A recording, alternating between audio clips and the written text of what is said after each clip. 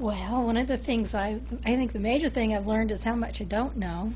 Um, but there's so many more layers and and depths to um, in the word. It's just to savor and to explore. Um, I, I've just until I started these classes, I was a lot more surface because that's all I knew. I mean, I, I wanted to learn deeper things, but I didn't have really the language skills or didn't know. It does, doesn't show up in English, some of the, the really deeper, deeper things. And um, I started coming probably two and a half years ago. Something. at least three. Yeah, it's been a while, and I, I was only going to do the Hebrew because I didn't want to overdo it, and because I thought, oh, this is going to be so hard. But to be very honest, I have never once studied at home um, or reviewed grammar or or done those kinds of things. Um, though I'm actually starting to want to do that to to to, to solidify it in my mind. Um, but it's amazing what I have learned just being here and, and just absorbing it. And uh, the very first time I was here, um, I heard the, speech about just letting it wash over you and just letting it absorb. Don't worry about what you don't know. Just pick up one thing here, one thing here, one thing here. And I've been doing that, and it's amazing what I can actually, um, what I know now what I know, and it, it, it's exciting to me. And I, I talk about these classes all the time with my friends. I actually got my husband to start coming. Um, I'm so excited wh- about what I'm learning. Uh, it, it's it's it's a joy. It is a total joy to learn these things and to learn the word and to learn. Um, well, not so much the grammar kind of stuff. I, I'm still having I, that's still over my head, but to learn the meaning and, and the precision with which the Lord planned His word, the part that's written in Hebrew and then the part that's written in Greek, and He chose those languages before all time, just like He chose everything before all time, and it just it's remarkable and it's exciting and it's refreshing and it's nurturing and nourishing and I love it. That's all I can say. Um, Father, I just thank you for this day. I thank you that we've um, gathered here to learn and, and to um, jump into your word another time. Lord, I just ask that you be with us and with our minds and that you'll just be with Dr. Jim and uh, just teach us what you'd have us learn today. In Jesus' name, amen. Amen. Thank you, Jerry. We're in the book of We'ele Shemot. We'ele Shemot. And we know what that means now, don't we? But for those out there in the world that don't, what does We'ele Shemot mean, uh, Pamela? And these names. And these names. That's what it was in Hebrew. It's not that in English. It's Exodus in English. And where do we get Exodus in English from? From the Greek Septuagint. What does the word uh, Exodus mean? The way out. The way out. All right. What is the word in Lakota for Exodus? Hantayo. All right. Exodus 17 and verse 3. Exodus 17 and verse 3. We're almost finished with this. I've been going to come down and make some more copies of it so you can go on a little bit further. I think we have here to uh, Exodus 18 and verse 18, and uh, there's the next volume right there. I didn't know whether I'd run out tonight or not. Well, Israel is grumbling against Moses. Israel is grumbling against Moses and having a fit. They just want their cake and eat it too. They left slavery. They have left slavery. And now they're free. They're in the wilderness, but they're worried that God can't take care of them. They've seen all the miracles in Egypt, how that he overcame all the gods and provided for them and protect them in the middle of all of this catastrophe, famine, uh, pestilence of all sorts, as God fought all those gods of Egypt. And yet they didn't believe yet. There were many believers that left Egypt lost, or not. I, I, I said that wrong. There were many people that weren't believers that left Egypt. They just went with the crowd. There's a lot of people that join churches that are not believers. They just go with the crowd. And just because you're a member of so and so church or First Presbyterian Church or First Baptist Church or anything else, you want to know whether you've had a personal relationship with God yourself, not through your mother, your father, your godmother, your godfather, or anybody else.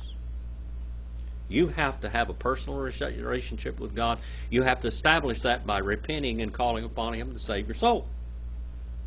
That's step one. Then from then on, that's when you can follow the Lord in baptism and uh, in service. And here we are with a lot of ungodly buzzards hanging around Moses. Wayitzma, Sham, Ha'am, Lam Mayim, Wayaliu. What? Yeah, lo, that is lo. Wayal lo. Ha'am, all Moshe, Wayomer, Lima'ah, Zeh, He, he Elitanu, Mim Mitzrayim, Lihamit, Othi, Wiet, Banei, Wiet, Mikne, Bats, Sama. All right. Wayitzma. And thirsted and kept on thirsting there, the people. Ha'am. And this word here, ha'am there, what is this idea of people? Familia, family. All right. The family of God is what we're really talking about, all this family here. And it's actually like a tribe, a big, large tribe. Now, ha on the front of, of am there is what? That's what you call a what? A whole horisticon throne. Now, I just said that in Greek. What is it? The definite article. All right? And uh, we on the front of Wayitzma is what? That's a conjunction. That's and. All right? And then La Mayim. La Mayim. What's Lemet on the front of that? Preposition. Preposition. All right. So we are seeing how God is putting these words together in this language. God designed these languages people have asked me many, many times, what language do you think we'll speak in eternity? And I said, maybe Hebrew. I don't know. Maybe Hebrew. So we're getting a uh, kindergarten education in Hebrew, if that's the language. Wayalen. And murmured. He murmured, third person masculine singular, hiphil, wow, consecutive, per, imperfect. Now this he there is third person masculine singular, isn't it? Why is it third person masculine singular instead of third person plural? Because the people are looked upon as a unit, one force. Okay? And murmured the people. Grammatically, that is incorrect in our language. But it's looking at as a unit, as the whole bunch. All of them were standing against Moses as a army. It's supposed to be the army of the Lord, but Right now, they're army of the devil. Against all, all. What is that word all there, Brother Roger? Again, it's a preposition. Another preposition. Against. All. What would that be in uh, in Greek? Okay. Ace. Yeah. Ace or pros. Yeah. In Greek.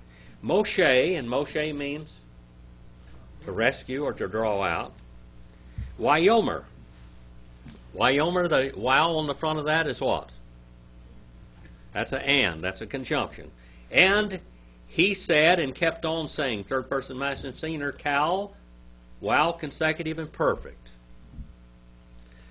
The while consecutive and perfect is like a historic, something historical. It happened. But it happened during a period of time. That's why all consecutive and perfect. Okay? And he said and had kept on saying, Lema, lema. Here we have two little words put together. Le is what? Lameth is what? That's a preposition. And then what about ma? What or why? That's an interrogative. An interrogative pronoun. An interrogative, interrogative pronominal adjective. And uh, let's see if I can grab it here real quick. Ma. The interrogative and indefinite pronouns. Right there. On page uh, 113 in uh, Gesenius Hebrew Grammar tells you all about it. Gesenius is, is the greatest. It is the most uh, extensive. It's like A.T. Robertson's uh, uh, big grammar in Greek. The interrogative and definite pronouns. The interrogative pronoun is me, which is who, of persons, even plurals, sometimes of things, or whatever. To whom? To what? It's an indefinite interrogative pronoun that we see. And here we have a preposition with a pronoun together. Preposition with a pronoun, lima. To what or to why is what it literally says. Ze, that's a demonstrative pronoun. Ze is. What would it be in Greek? Tauta, tauta, tauta, tauta, tauta in Greek this, and then you have brought us, look at that. You have brought us. He elitanu. You have brought us. Second person masculine, singular, hiphil, perfect. You have brought us. The suffix is first person construct plural. You have brought us from Mem Mitzraim. Look at that word Mem Mitzraim. We have that dagesh in there that doubles it, don't we? All right. Mem Mitzraim. Mitzraim means what? Of course, it's translated Egypt, but what does it mean? Canals and riverbanks. Land of red mud and canal banks. All right, because it was a agricultural society that did not depend upon rain. They irrigated the land, which was not very. This wasn't done everywhere. This was early irrigation. Lahamet. Lahamet. To kill. Look at that. To kill. That comes from meoth. Look at that word meoth down there. See that three uh, uh, letter root down there, 559 and 562 in the analytical or in the lexicons? Uh, me. You've come to kill me. And we at, you only translate the and part of that, uh, sons of me and my sons and sons of me are in my sons. What does the word son mean? All right, according to a pattern. Beno- Benoth, daughters according to a pattern. All right, and then we at and mikne. Mikne. What does mikne mean? All right, and my movable property. What is movable property? What is movable property? This is in the genitive case. My stuff, genitive, case of possession. Okay? My movable, my movable property. Livestock, slaves, anything that you can carry off. Can you carry off land? No. Real estate was not considered much back then. Only what you can carry in your hand, real property, real property, what we call wealth, was what you could carry. They had begun to to use silver and gold. Okay? But wealth, I mean silver and gold can't do you any good. You have any of you eaten gold? Huh? I have seen people eat gold. You know how they eat gold? They take chocolate and they put this gold film over it, really fine film. They'll put it on there somehow or another, and then you eat real gold. All right?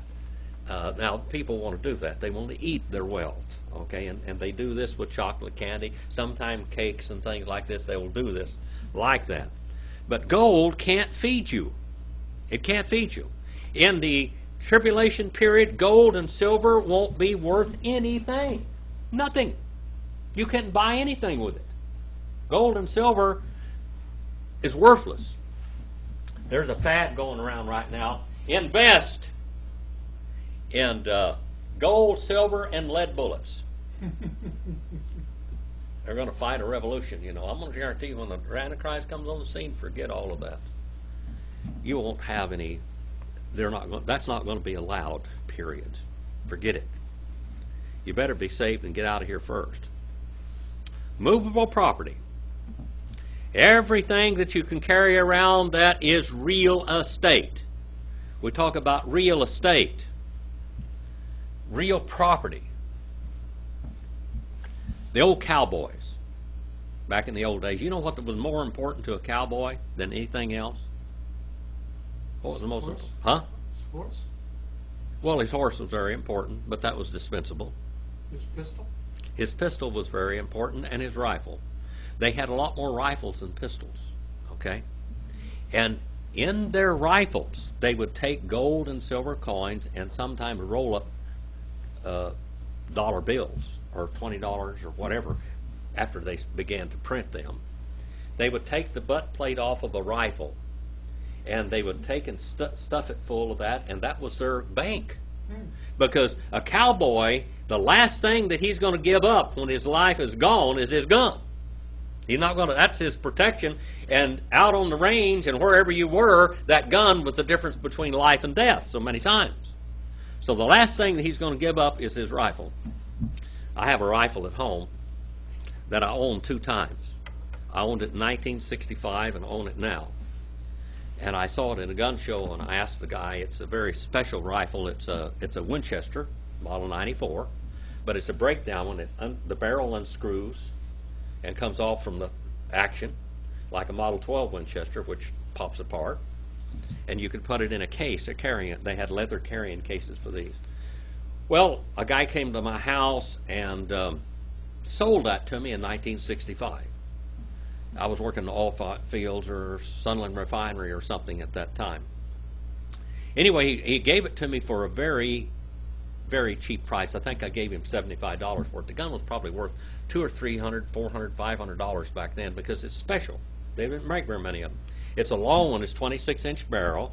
It has a half hex, half octagon and half round barrel. That's a that's a special option. It has an ivory bead front sight, another special op- option. It has a triple folding rear sight, another special option. It has a shotgun butt instead of the curved butt, another option. It has a half magazine, which is another option. All these options, and then it has a Lyman flip-up sight like Quigley down under on the back of it.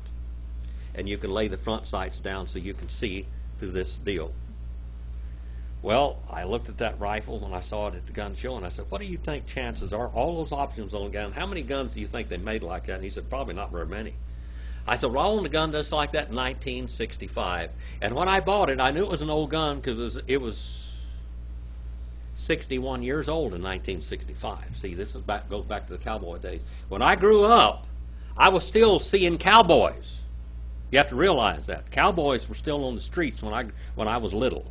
They were still driving the horses down the, the the ice wagons, you know, where they deliver the ice for the ice boxes, which you don't even know what they are today. They were driving them down in a buckboard with a tarp over it and tarp down below and a tarp on top of it to keep the ice from melting. And they'd bring in five or ten, fifteen, twenty pounds to your house and stuff. And then cowboys were still riding. I knew this one old cowboy named Allen. He used to come down there where I was a wrangler at Ragsdale Staving, uh, Stables, and he'd, dri- he'd ride his old horse in, and he'd ride it for about a mile. Where the Edison Drive-In Theater was where he lived. He lived in a in a house there in that big pasture with that horse's pasture. This horse was about 20 years old. He was over a 100. And he rode that horse. He never drove a car. He said he, he got his wife a car, and that, I think she had about a 1949 uh, Ford or something, pretty new back then. But he had this 49, And he said, I, she drives and I pray. I mean, that's just the way it was. He came from the Civil War times. And he'd ride that horse down there and he'd go over there to this soda pop machine, which was in water back then. They, they had water in them, you know, that's how they got cold. And he'd go over there and pull out a red soda water. He carried his rifle and his pistol with him all the time. And I'll just tell you that I bet he had money either in one of those cylinders in that Colt single action army or in the butt of that rifle. I took this rifle, and when I got it, this guy brought it to me, and I knew the family because my sister had gone with their cousin. That was her first boyfriend. And so I bought the gun, and about two or three weeks later, I never shot the gun, still haven't shot the gun. Anyway, the family came back, and they wanted to know if I had the gun. I said, yes, I have the gun. But in the meanwhile, I'd taken the stock off of it, and inside it looked like a dollar bill, and I should have brought that. It looked, it said one right on it. And I said, well, this is old silver certificate or gold certificate or something back then. Well, I unfolded it, and it was a 1913 and 1914 California hunting license. It was printed just like a dollar bill. Hmm. I thought I was going to get a silver certificate or something there. Sometimes it would be fifty or hundred dollar bills, or rolls of twenties in there. You know, there's usually a, a hole in the stock.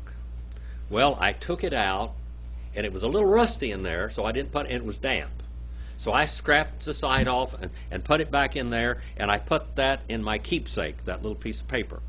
That was her great grandfather. That's in 1965. Well, I had that thing all these years. I had it in a little box.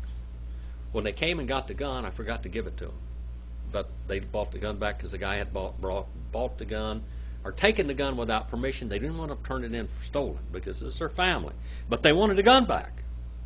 Anyway, I guess all of them are dead now. I got the gun, and I went home after I got traded to the gun, and I took the back stock off, and there's where I scraped the rust off of it, and there is where the California hunting and or the hunting license was, Hmm.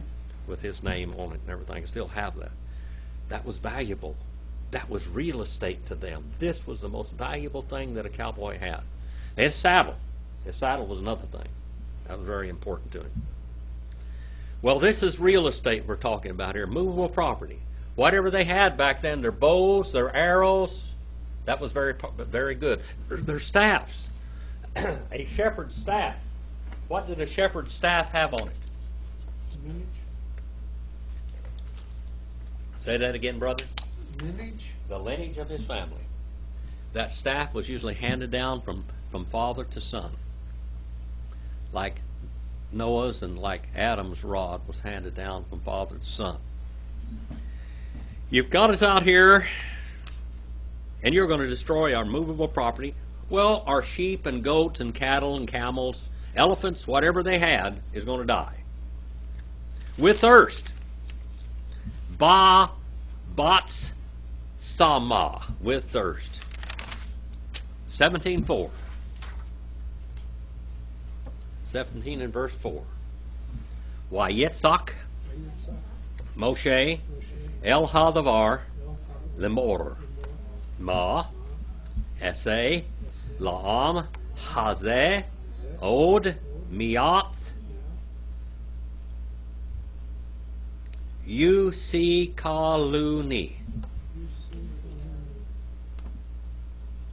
And he cried. Third person Masson Senior Cal Wall consecutive perfect. He cried and kept on crying, Moses, unto Jehovah. Hadavar. I want to look at that one. Hadavar. That's the word. That's the name of God. That's the word. After the Jews received the law of God, it says, You shall not use the Lord thy God's name in vain. And they were ever afraid after that on to speak it. So here we have the Hadavar, which is the legend of Hologos. Okay? Lemor. Saying, cal infinitive construct. Remember what that lameth on the front of that word is there, brother? Right off the bat. What does it tell you? It's probably going to be an infinitive. Okay. Yeah, probably going to be an infinitive. When you see the lameth on the front of it, that's two, isn't it? Two, not two or four, usually in the dative or the instrumental case. All right, right here it turns it into an infinitive, along with a few other things. Now we have an interrogative pronoun. Indefinite interrogative pronoun, ma. All right? What? I shall keep on doing. First person construct senior cal imperfect. What shall I keep on doing? To people. All right, now here we have this in the dative case. Remember, all of those cases in Greek, we have almost the duplication of them in Hebrew. Nominative, the case of what? Nominative is the case of what? Action. Subject. Oh. Genitive, case of possession. Ablative, the case of origin. Locative, that's in something. That's the case that means inside of something. All right. Locative, instrumental, with, by, or for, and then the dative is locative, instrumental, dative. Dative is two or four, which we have right here. That's the dative case. All right. And then we have the accusative. That's the direct object, the case of the object, all right, the accusative case. And then we have the vocative case, case of address in Hebrew and Greek. You have to, to, to understand Greek, you have to know some Hebrew because there's too many Hebraisms in it. To understand Hebrew thoroughly, you have to know that giant Greek grammar, the Greek gram- grammar that explains so many things, unless you know Greek. When you read this Gesenius Greek grammar, they expect you to be educated. You have to know Latin. It's a must necessity. You have to know some German. You definitely have to know Greek and Hebrew because half the half of the explanations are in those languages. Some of and Delitzsch will go on for pages without ever saying one word in English. It will be German or Latin. They will make long quotations in the Latin Vulgate or in the Greek Septuagint. Keil and Delitzsch is a is a tremendous ten volume commentary on the Old Testament, by the way. Almost all preachers have one in their in their library, whether they can read it or not. They used to educate us old fossils so we could read things like that. Now they come to us to find out what's there. They ought to learn it. learn those things. But you know what that means? That means elbow grease in the cranium. Hard work. And he cried Moses unto Jehovah, saying, and here we have the word leomer, lemor again, saying, What? I shall keep on doing to this people still. Look at that word still. Ode. Still. Few. This is what we call a diminutive. Few, and they shall have stoned me. All right. They shall have stoned me. They are going to stone me. It's a call. They want to stone me. 17 verse 5. 17 and verse 5. Wyomer, Hadavar, El Moshe of Or.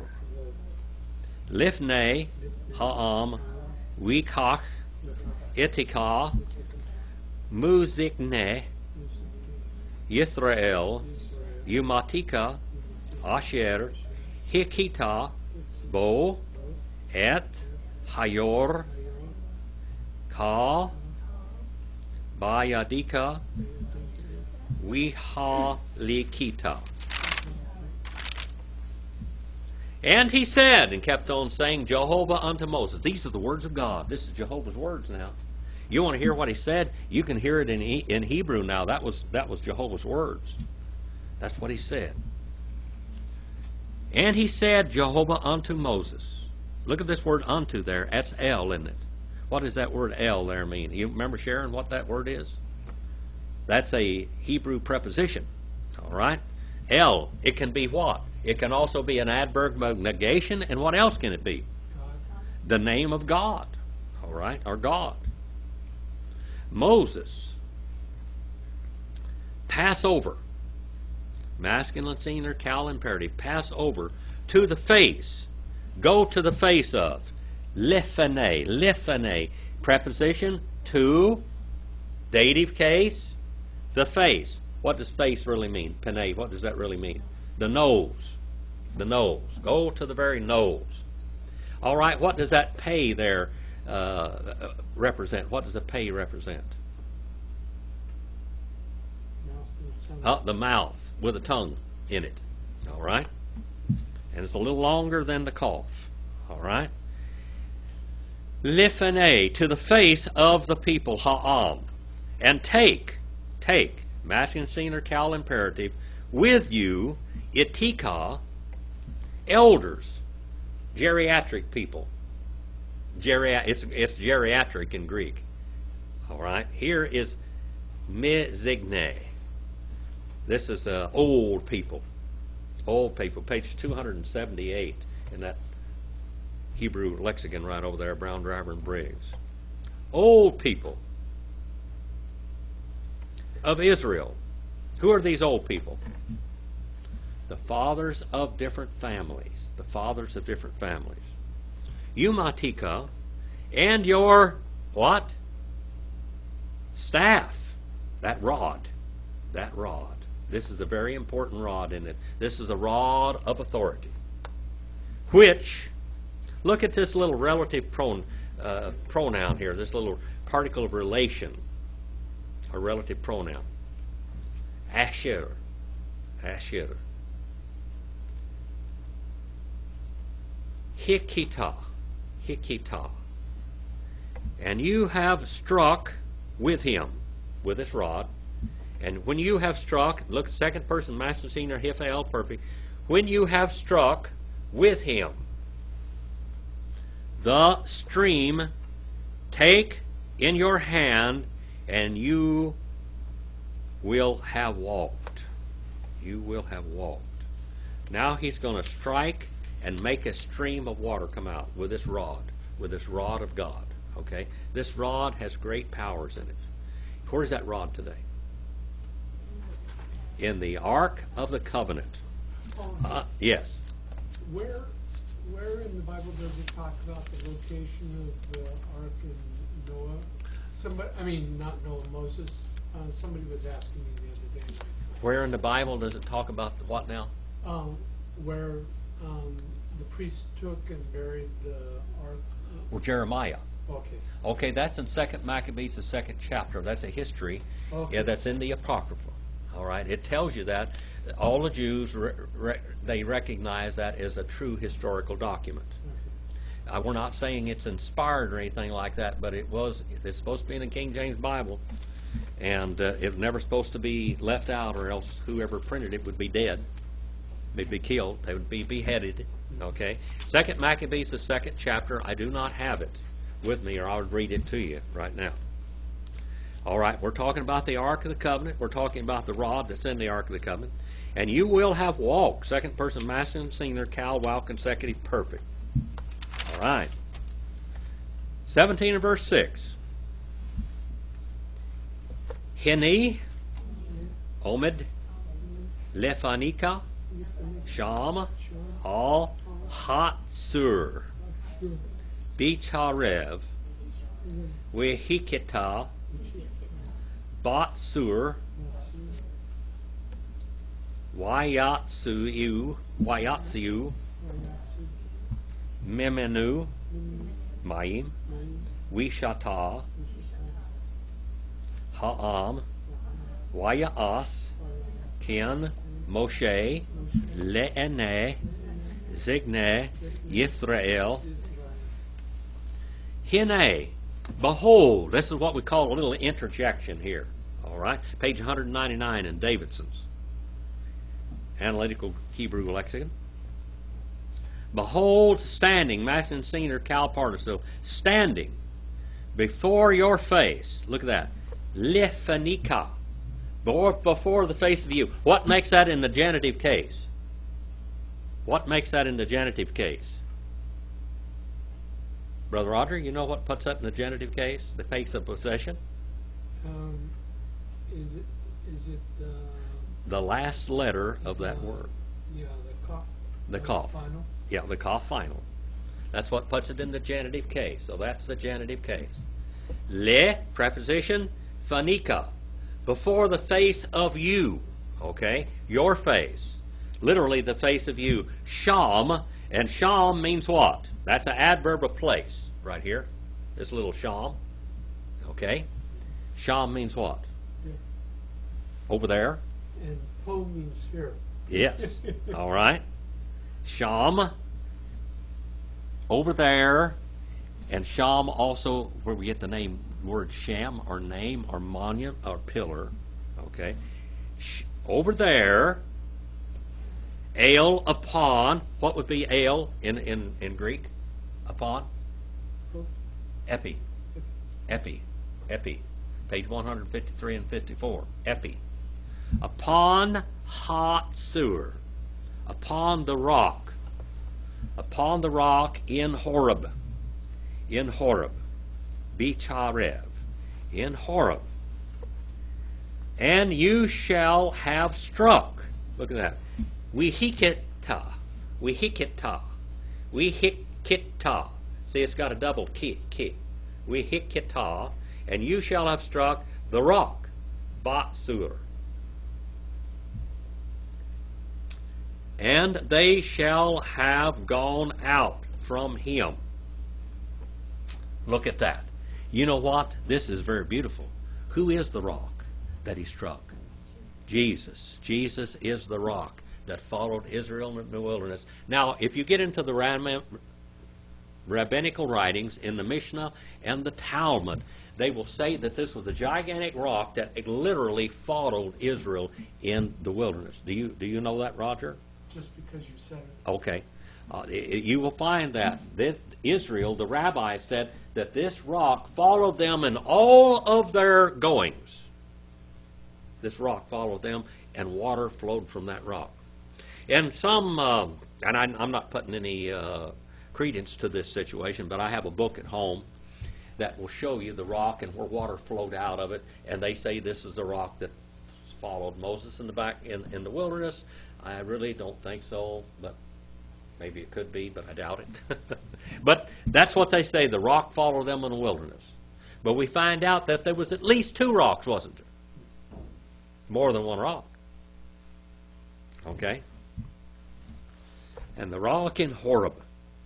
And and you shall have struck the rock, and they shall have gone out from him waters, Maim, waters, and he shall have drunk the people.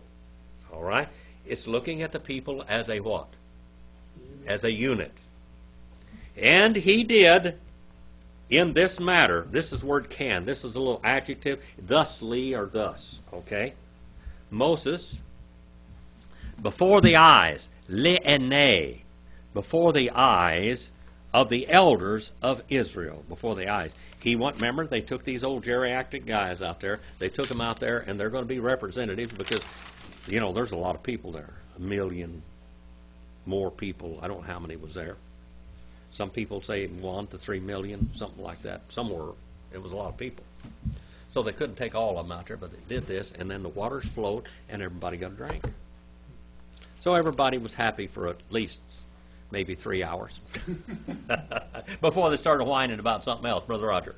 Well, um, I'm not quite sure the story, but one time he struck the rock and he wasn't supposed to. No, he was supposed to speak to it. Okay. Okay, we're going to get Does to that that. come later? That comes later. That was the other rock. Okay? Some people say same rock. I think it was another rock. Because I think this rock kept flowing water. I think the water just kept flowing from this rock. This rock represented New Jerusalem, where the river of the waters of life flow from New Jerusalem out into the into the whole earth forever, in eternity future. We studied about that last week. Remember, where the river of water of life flowed out from the from the throne room of God, which represents the dwelling place of Jesus, Jehovah and flows out just like this rock represented Jesus and those waters of life. And Jesus, when they were getting ready to pour the drink offering there in, in Jerusalem, he said, he stood up and he says, Come unto me, you, all that ye that thirst, and I'll give unto you waters that you'll never need any more water again. That'll satisfy you forever. These people were not satisfied with the waters forever. Okay, they just weren't satisfied. Now we're going to go to uh, another place in the wilderness. And this is why I don't think the rock followed them everywhere. Okay? I think that rock was there, and I think the water flowed out of that rock, and that rock represented Christ, and the water itself represented Christ also. He said, I am the water of life. I am the light of the world. I am the true manna that came down from God out of heaven. Those things are all a type of Him. He is the tabernacle. Primarily, the interpretation of that tabernacle up there is everything about it represents Christ. Secondary, everything about it represents the church in the church age. The temple of Solomon represents the church in the glory age in the millennium. Here.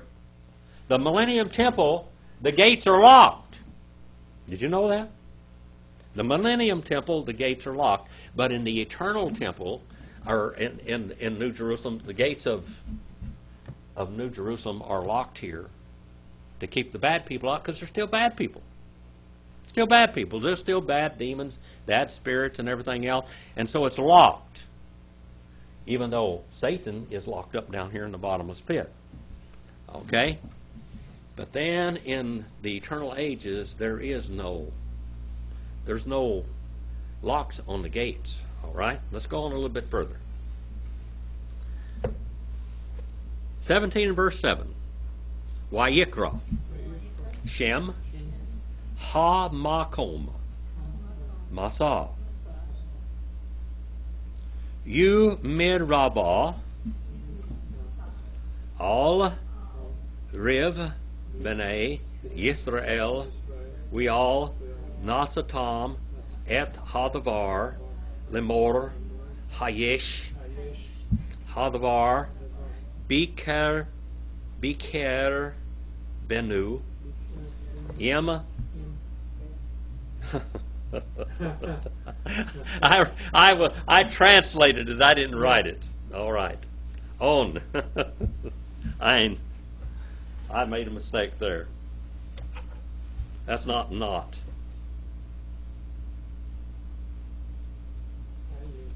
Ein. Ein. All right. It means not. That's a little particle or adverb of negation, by the way. You ever, your mind ever play tricks with you like that, Brother Roger? Once every you five minutes. About every five minutes?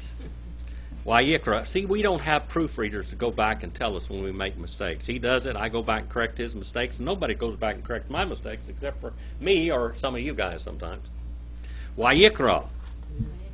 All right. And he called and kept on calling the name of the place Massa. Massa. Massa. And Meribah. You Meribah. Meribah means what? Because and that means bitter. What name in, in, in what uh, woman's name comes from that? Mary. Mary. Woman's name. What's the man's name? Miriam. Marion. All right. Because al, uh, because the fighting, the contention, the warring of the sons of Israel, and because to test them. Look at this word to test them. Nasatam. Piel infinitive construct. Suffix third person masculine plural. To test them. Jehovah. He's trying to find out what they're made out of. All right? What are you made out of? How many of you been to a test? You ever been to a test? Once or twice? How many of you have taken a test? How many of you ever lock up on a test? Huh? My wife and my daughter, they have test fright so bad. I have never seen anything like it. When I took Marilyn to get her ham radio test and Dakota to take her ham radio test, I mean, it was total fright. Terrified. They were terrified. They took different tests, test, test, test, test, test, and they would always just be scared to death, so scared they couldn't think, and they knew what they needed to know. Finally, I said, "We're going to go, and we're going to go over to uh, Santa Barbara, not Santa Barbara, but uh, San Luis Obispo. not San Luis Obispo, Santa Maria." They over there. I said, there's a bunch of people over there are really nice. We went to this uh, mobile home park. They used this the the community center in there in this mobile home park. They got in there to get the test. They were so relaxed. Both of them aced it. No problem. Boy, I took them to a lot of tests. Sage fright, testing. Jehovah, again, Hadavar, is hologos. Saying, Cal infinitive construct, saying, Ish, I, Ha-ish, is Jehovah, is He, the Him Jehovah, in our midst. Literally, it says the Him, the Him, the Him, the Him, Jehovah, right in the middle of us. Bikarvenu. Bikarvenu. Right in the middle of us. Meso in Greek, right in the midst of us. Jehovah. If not, if not, M, that's a little conjunctive word or a conditional particle. If not, adverb or particle of negation. If not, he came. Oh, let's read this first in Hebrew.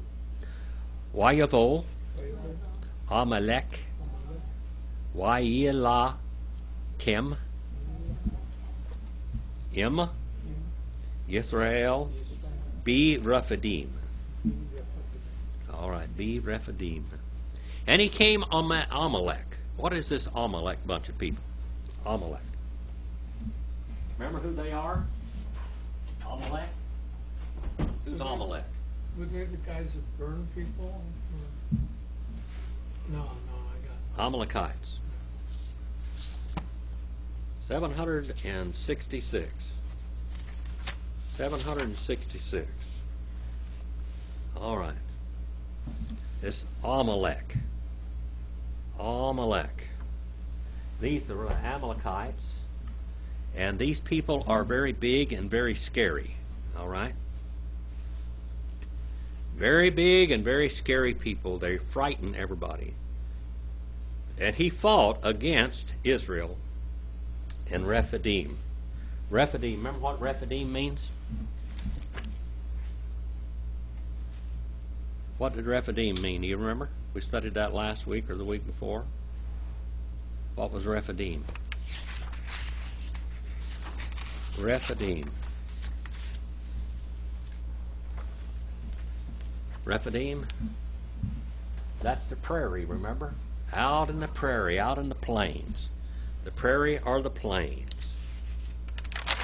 So they had a fight out in the plains with the Amal- Amalekites. Now we have uh,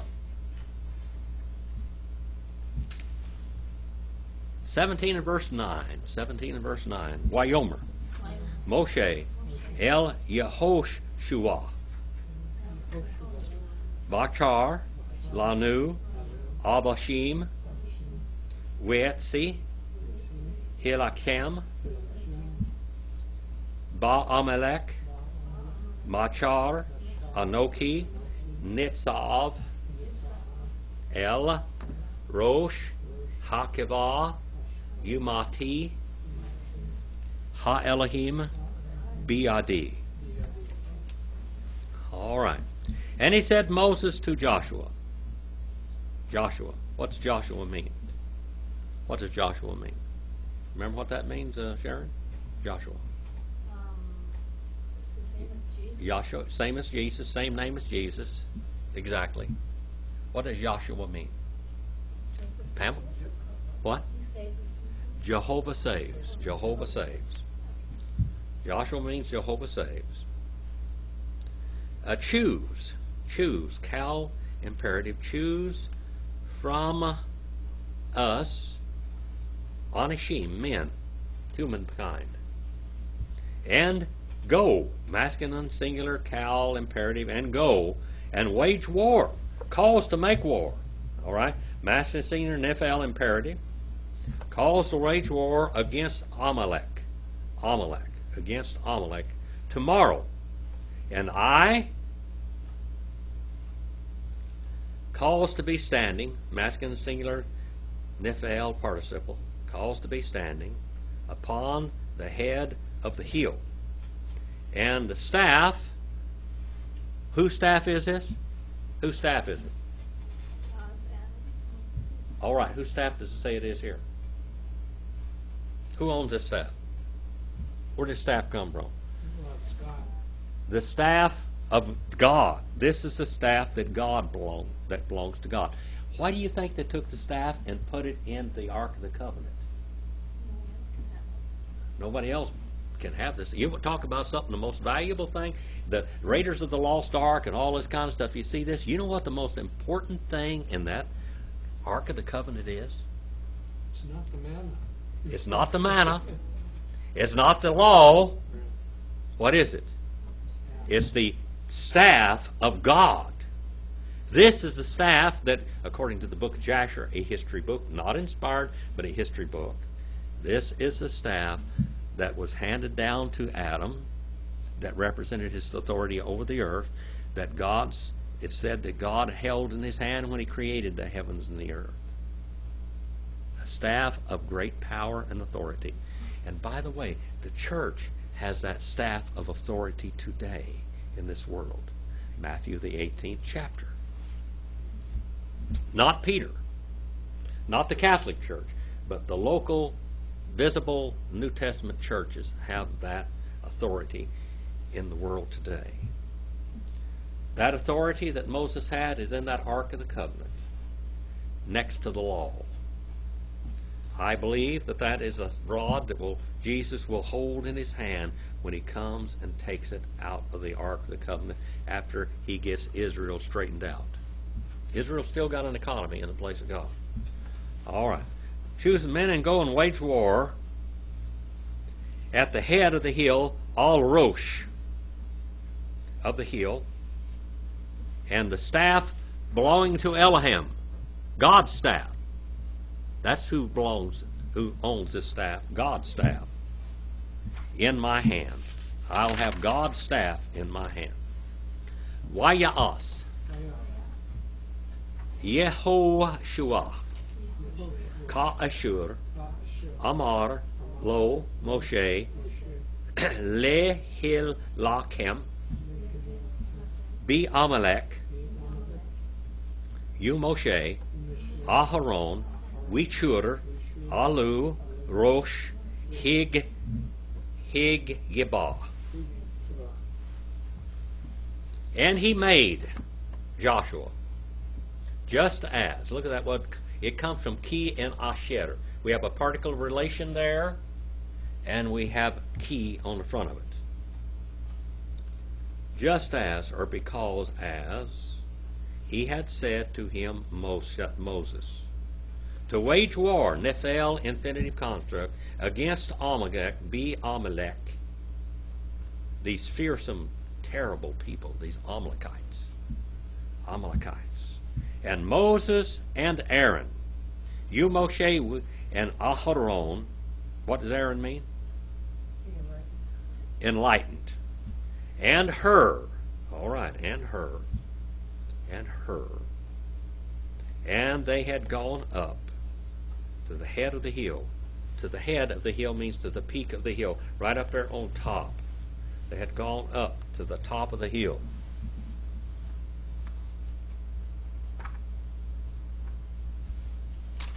I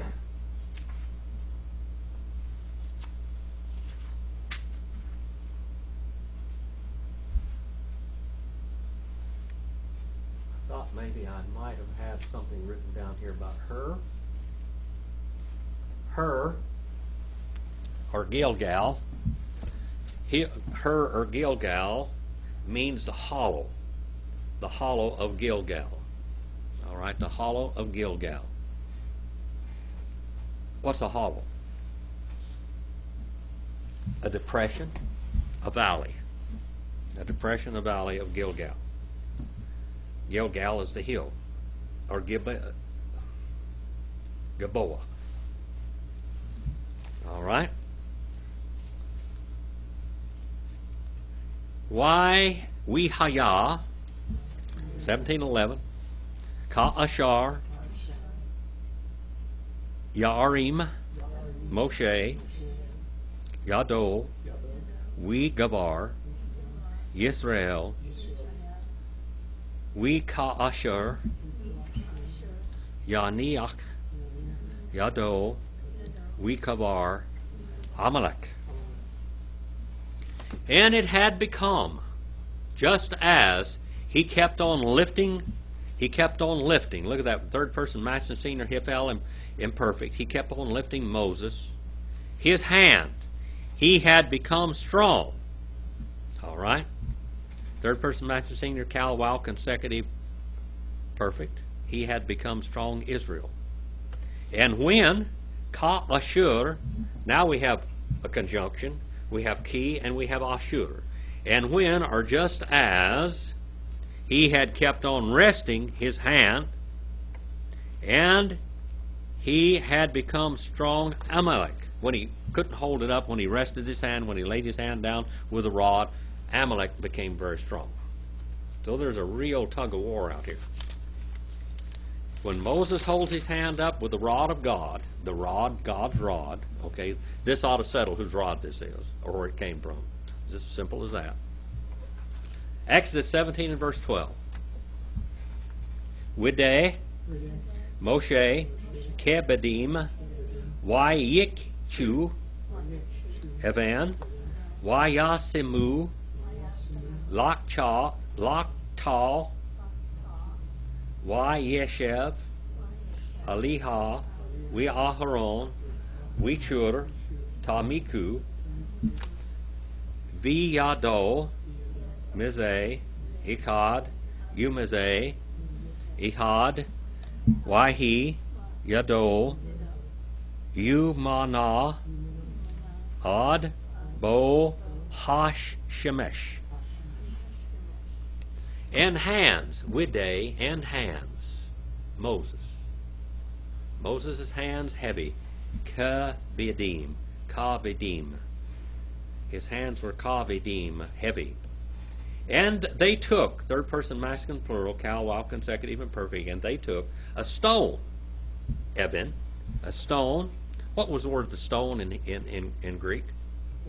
Petra. Petra. Petra. They took a stone and they placed under him.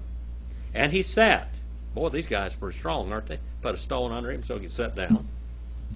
And upon her, upon the stone, upon the Petra, see that?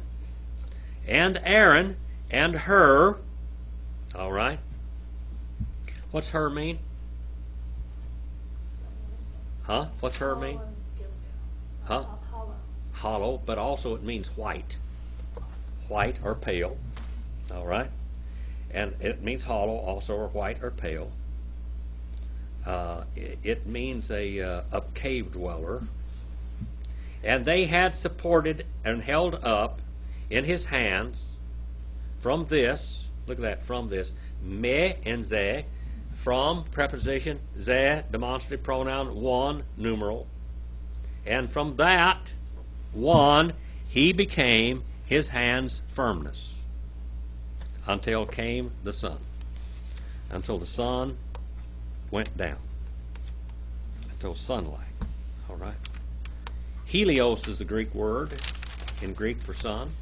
17 and verse 13. We'll go on here a little bit further and then we'll give her up for the next day. We are chulosh. We ho we Hashua et Amalek. We et Amol Lifnei Charev. And he prostrated himself, weakened Joshua, Amalek. He calls them to fall down, to fall down, to, to fall down in a worshipful manner toward him. You understand what it's talking about? They began to prostrate themselves down before Joshua. And Am- Amalek had, did. And his people by the mouth of the sword. All right? The mouth of the sword. Now, this sword is like a, uh, double-mouthed sword of Revelation 2.16. Proverbs 5 and 4. Two-mouthed sword. What is a two-mouthed sword? What does a sword do when you hit somebody? It bites a chunk out of them. It cuts a chunk out of them, and they call it a double-mouthed sword because a sword, a double mouth, has got a blade on both sides. It cuts both directions. Cut in both directions. It's sharp on both edges, okay? Like the double-mouthed sword. So they were swinging these double-mouthed swords. All right? Amalek means to work, to toil, to travail, to cause mischief, to cause terror. means wretched. 766 in Brown Driver Briggs. And who this is, by the way, these are the grandsons of Esau. This is the grandson of Esau. This also are the cousins of those that were related to Herod. Herod. This is Herod's family. Let's read one more verse, and then we will. I'll turn you loose, and we'll. I'll try to to copy some more pages for your next little lesson. Wyomer, Hadavar, El Moshe Katov, Zot, Zikaron, Bas Sefer, Wisem, Bi Azene, Yehoshua, Ki Macha, Emche, Et, Zeker, Amalek, Metechat, Ha-Shemayim. And he said, Jehovah, Hadavar, look at that again, the whole logos, unto Moses, write, write this memorial. In, uh, now here we have this Bas Sefer, Bas Sefer, in a missive or a written account, or scribe, it means to scribe this down. See that word Sefer? The book of Jasher is Ha-Sefer Yashur. All right? Let me show you that real quick. This is exactly the word.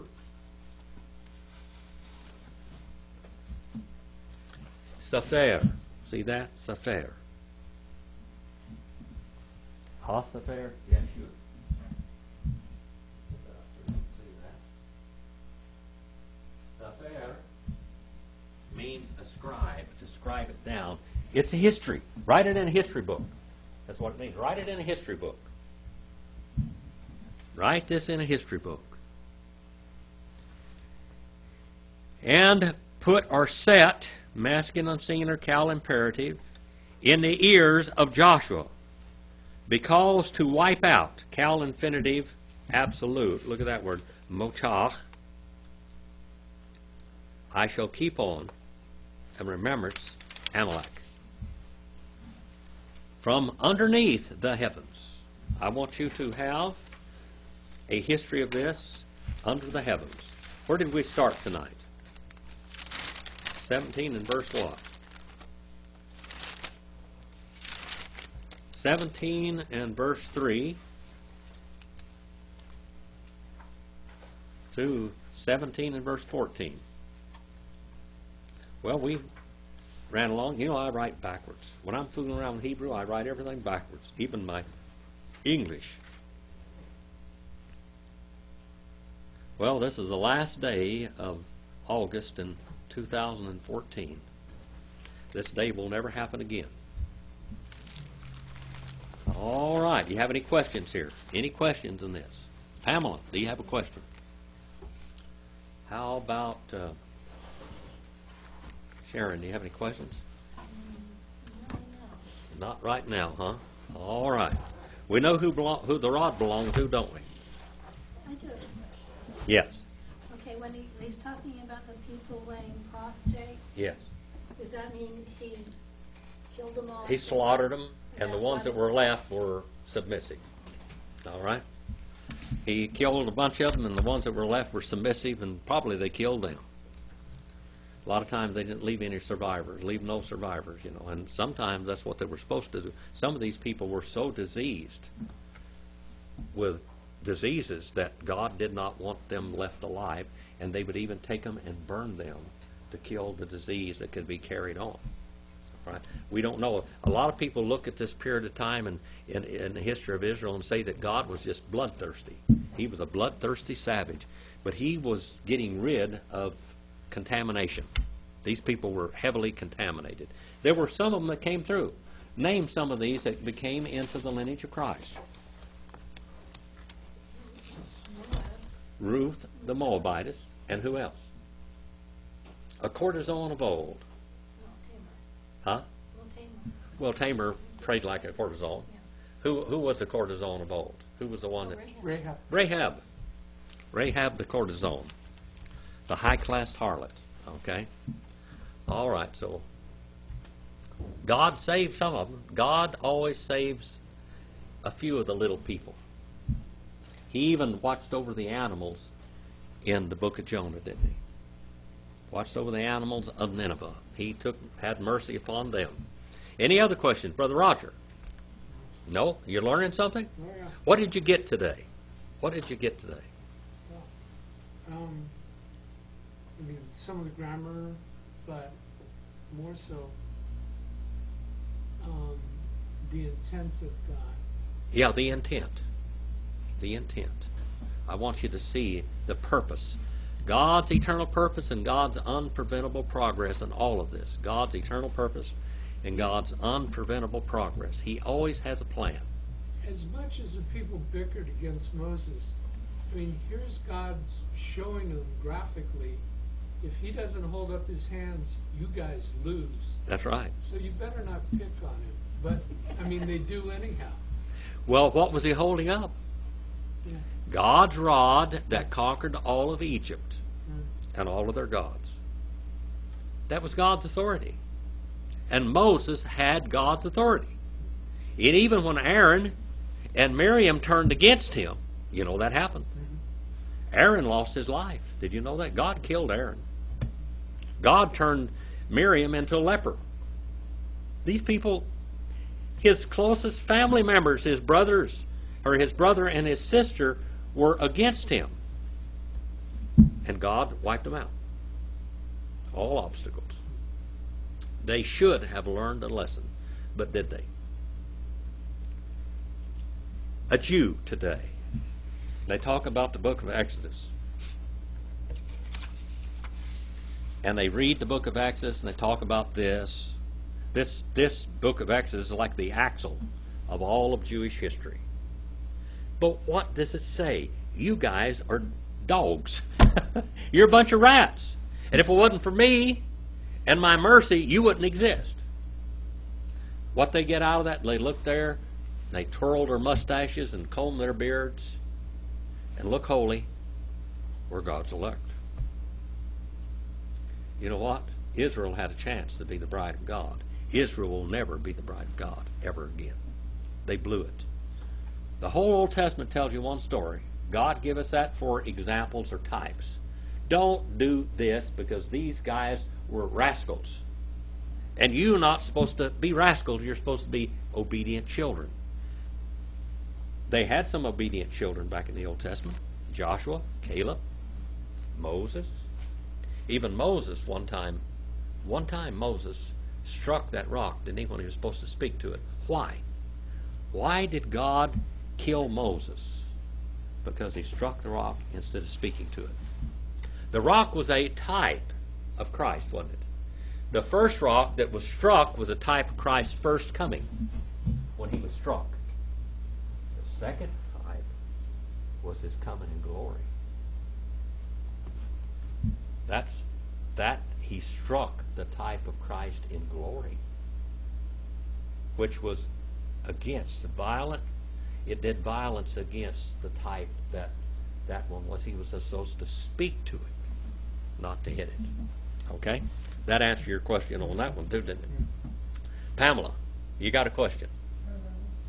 Do you think you could get up here and give us a, a little of what this one what did one of these days, if you feel like it? Yeah, well, it- yeah, One of these days. uh, next Sunday night. All right. Let's have a word prayer. And I'm going to turn you loose on the world. Brother Roger, will you come up here and dismiss us in prayer, please?